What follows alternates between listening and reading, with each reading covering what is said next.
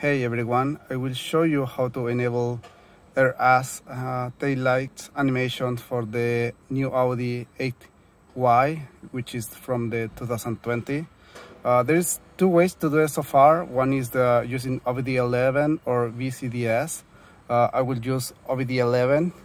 Uh, from here, there's two ways to do it. One inside the apps, then you need to click in tail lights animation and as you can see there is one that says RS already because I already enabled but I use manual version. Uh, this will cost you 100 credits so if you want to spend some credits this is the easy way. The other way is um, just going back and using for example the control unit. You will go to the central electric which is the number 9 here in VCDS 2 uh, we are going to adaptation and we are going to check by heck.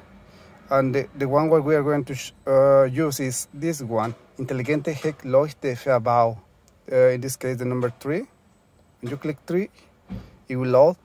And here you have several things. Uh, what we're going to change is from from 1 to 5 uh, I already changed that's why it's uh, 5 but you have 0 or 1 uh, change it to number five. And here you need to keep press. For example here probably will fail because we need to open the the hood.